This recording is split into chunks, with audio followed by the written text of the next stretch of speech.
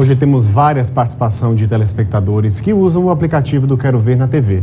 Vamos para a mensagem, essa primeira que chegou do seu Ricardo Vargas. Olha o que ele diz aí para nós.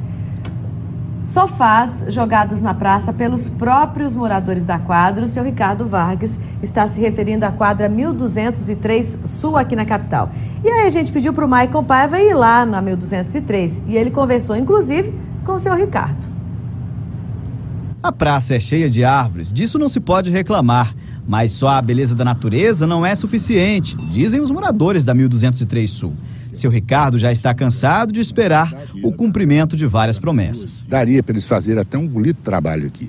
Mas, infelizmente, não temos nada e estamos aqui, eu estou aqui lutando para ver se acontece alguma coisa. Né? Se não bastasse isso, ainda tem um vizinho indesejável para os moradores. O lixo por aqui é outro problema. No chão, muitas garrafas, galhadas e até calçados. E se tem lixo no chão, acredite, até suspenso. Quem faz um breve passeio encontra muita coisa que não agrada, não. É, e tem mesmo muita coisa jogada por aqui. Olha só o que nós encontramos também. Tem até sofá jogado no meio da praça. Dona Rita é moradora antiga da 1203. Ela diz que sempre que pode faz a limpeza em frente à casa. Mas o lixo e a falta de cuidado incomodam e muito. Eu moro aqui, né, do lado, e vejo que realmente é um descaso grande.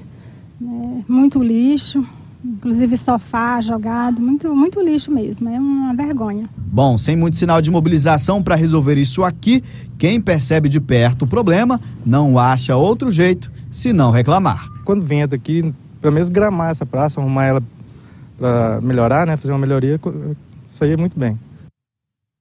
Rapaz, aquele sofá ali, hein? Dá Jogar... até pra usar de repente, reaproveitar, é. dar uma transformada nele? Tantos locais que os, esses tipos de móveis né, passam por conserto, a espuma, a espuma ou a estrutura podem ser reaproveitados, né? Não é o local ideal para jogar, expulsa né, quem quer ficar na quadra. A gente tem aqui a resposta da Secretaria Municipal de Infraestrutura e Serviços Públicos. Eles disseram para a gente que a obra a, da Praça da 1203 Sul foi iniciada na gestão anterior e os recursos vão para a conclusão ainda, né? E estão incluídos no plano plurianual do ano que vem. Quanto aos entulhos, a secretaria disse que enviou uma equipe ao local que vai fazer a retirada ainda esta semana. Entretanto, também pediu aos moradores que ajudem aí com a limpeza dessa área de praça, praça no futuro.